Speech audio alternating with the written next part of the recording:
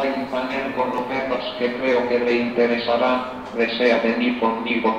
¿Es gratis?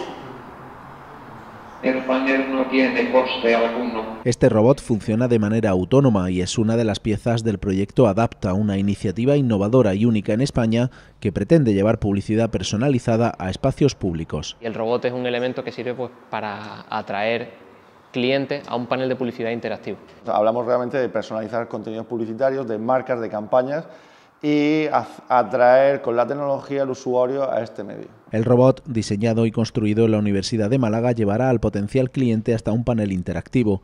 Para ello es capaz de mantener una conversación. Bueno, el robot tiene una serie de, de preguntas, respuestas, una serie de temas de conversación siempre centrados en torno al panel en los que él se defiende.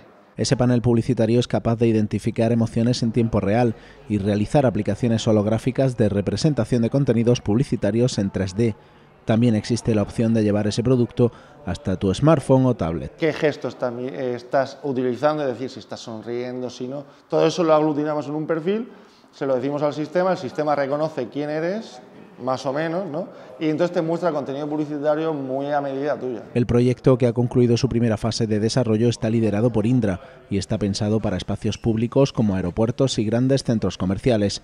Imágenes que podrían parecer de ciencia ficción, pero cuyo futuro no está tan lejano.